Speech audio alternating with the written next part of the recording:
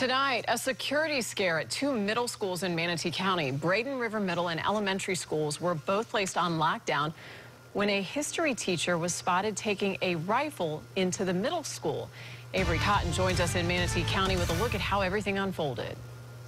Good evening. The history teacher was using that rifle replica as part of his lesson plan, but he made one big mistake, and that's what had this school on lockdown. I seen somebody walk in with a rifle and a bag of ammunition. A frightening scene as this father explains to the 911 operator that he watched a man take this rifle into Braden River Middle School. And where are the weapons now? He w- brought it, he was walking right into the school with it. Okay, have shots been fired? No.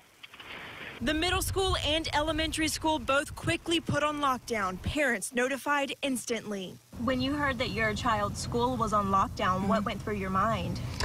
Actually, first I was thinking probably some kind of misunderstanding. And it was. According to the school district, a history teacher took the replica of a Civil War era rifle to class as part of his lesson plan. He's brought the gun in, you know, several times before. He even told the school resource officer he would be taking it in for his class, but he made a big mistake when he got to campus and took that rifle out of his car. What should happen is if you're going to bring something like that to school, um, first of all, it should be in a case or something where somebody would not construe it as a weapon. The school district is looking at reviewing and making changes to procedures, and parents are glad, saying, in the world we live in, you can never be too careful. So because whatever is happening in the world, we're getting more overreacting. Now, because administrators say this was an honest mistake, there will be no repercussions for this teacher. However, again, they are looking at changing protocol to make sure things like this don't happen again.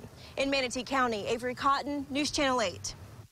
Interesting note here, this all happened an hour before school started. Administrators tell us police responded quickly and had everything taken care of by the start of school.